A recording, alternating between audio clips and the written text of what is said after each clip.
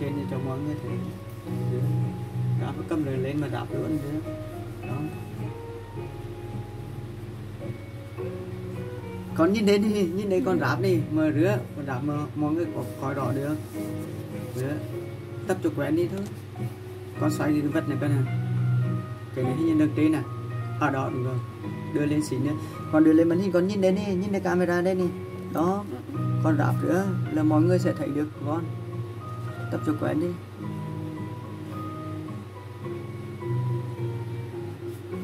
Ok rồi review rồi